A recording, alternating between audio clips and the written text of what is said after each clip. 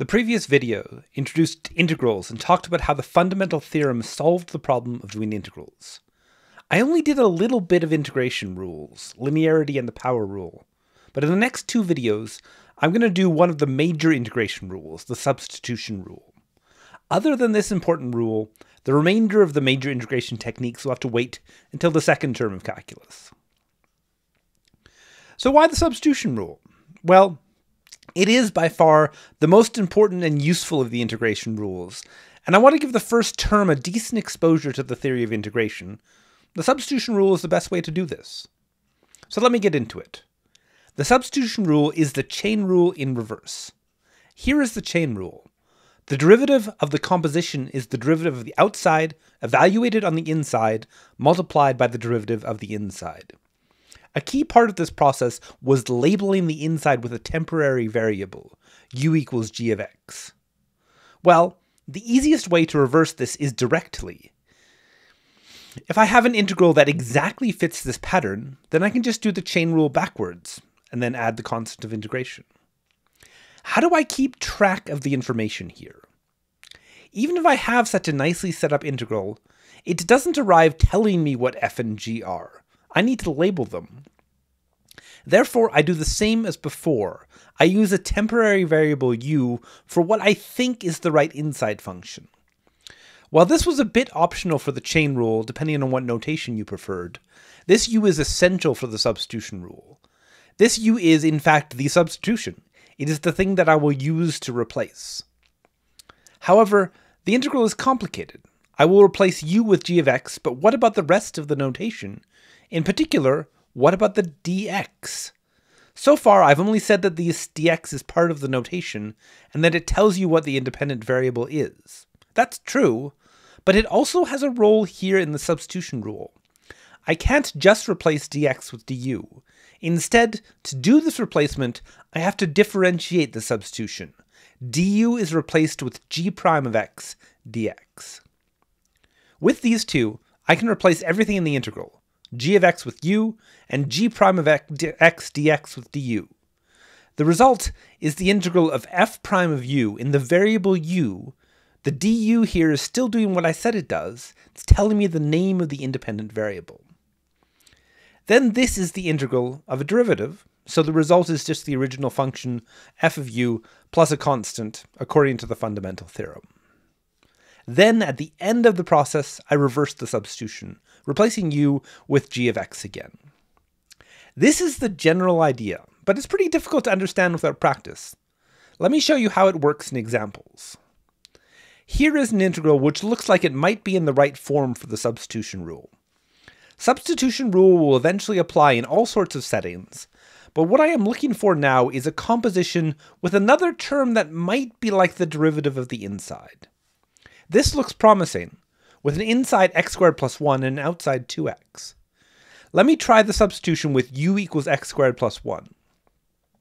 Unlike the chain rule, where labeling the inside was a bit optional, here labeling the inside is necessary and something I expect you to do in assignments and exams. In addition to the substitution itself, I need to know how to transform the dx. This is done with the derivative of the substitution, and the derivative of x squared plus 1 is 2x, so du must replace 2x dx.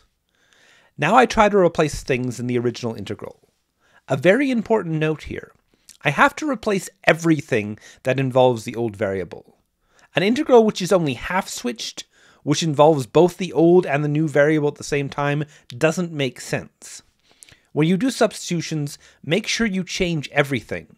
All the x in the old, all the y, uh, u in the new. In this case, x squared plus 1 gets replaced with u, 2x dx gets replaced with du. The result is the integral of u to the 4, which is an inverse power rule. The antiderivative is u to the 5 over 5 plus a constant. And then, to finish, I reverse the substitution and replace u with x squared plus 1. This is the final answer. Here is another example. It looks like I have a composition with an inside x squared. The x outside also looks promising. Let me try u equals x squared. The du is related to dx by the derivative 2x. du equals 2x dx. However, if I look at the integral, there isn't a 2 there. So sometimes I'll need to do some more algebra to make the substitution line up. Here I can divide both sides by 2. This leaves x dx on the right, which does match up with the inter original integral. And this is the key idea. I do whatever I need to do to match the original integral. Then I do the substitution. x squared is replaced with u, x dx is replaced with 1 half du. I pull the 1 half out by linearity, and then I can integrate. The antiderivative of e to the u is still e to the u. Regardless of what the variable is called, the exponential is still its own integral and derivative. And then I add the constant of integration, and finally, I reverse the substitution. Here is another example. This one is a bit stranger. The first two examples of substitution rule were really looking to match the pattern of the chain rule inside functions, outside functions. However, the substitution rule, now that I know how to apply it, has much more utility than just this case. Here is a substitution which doesn't immediately look like a composition. One thing that substitution can do is simplify denominators, since sometimes the integral becomes easier with a simple denominator. Here, I'm going to substitute u equals x minus 2 to make the denominator just the variable u. I also need to change the dx. But the derivative of x minus 2 is just 1, so in this case dx gets replaced directly with du. And finally, I also have this numerator which I do need to change. To do that, I'll do some algebra with the substitution. If u is x minus 2, then adding 2 to both sides tells me that u plus 2 is x, and I can use that to replace the numerator. Now, I can replace all the pieces. Remember what I said earlier, everything in the old variable needs to be replaced with a new variable. I never mix variables in these integrals. In this replacement, the numerator becomes u plus 2, the denominator becomes u, and the dx is replaced with du. Now I have a simple denominator, and I have an addition in the numerator. I can break up the numerator to get 1 plus 2 over u. Then I can use linearity to split this into two integrals. I know how to do each. The integral of du is u, and the integral of 1 over u is the logarithm. Finally, I finish with reversing the substitution. There is one more subtlety with this final answer.